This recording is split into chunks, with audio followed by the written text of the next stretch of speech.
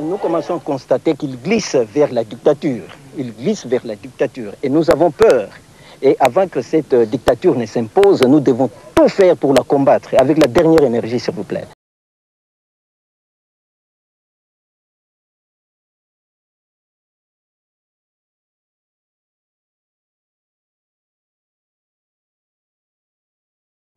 Kinshasa, la tentaculaire, avec ses 5 millions d'habitants et son étendue de 30 km, vit au ralenti. Tous ont suivi massivement la consigne ville morte lancée par l'opposition radicale pour demander le départ du président Mobutu, et ceci malgré l'état d'urgence qui interdit toute manifestation. Mais la présence militaire est discrète. Dans les quartiers les plus hostiles au régime, les partisans d'Étienne Tshisekedi, le Premier ministre limogé la semaine dernière, érigent quelques barricades. Sur toutes les lèvres, toujours les mêmes mots sur la misère du peuple et ses espoirs. Chaque chose a un début et une fin. Nous avons tant souffert, le peuple souffre comme il faut. Alors il faut qu'il y ait un changement. Nous demandons la démission de M. Mobutu aujourd'hui même. Et, nous demandons aussi à Kabila de venir ici. Nous l'attendons.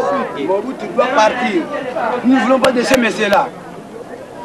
Ils n'ont que leurs mots pour défier le pouvoir. Dès qu'un véhicule militaire apparaît, la peur redevient la plus forte. Vous ne prenez non, pas trop de aura... risques? Non, non, non, non, non. On aura...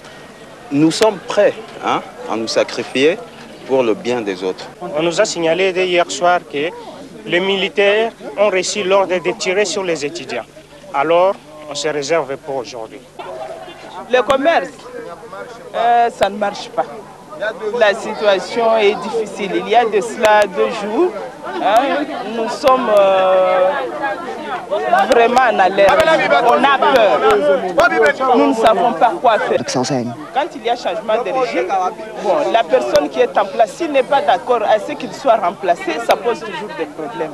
C'est pourquoi nous sommes vraiment dans, nous sommes euh, angoissés.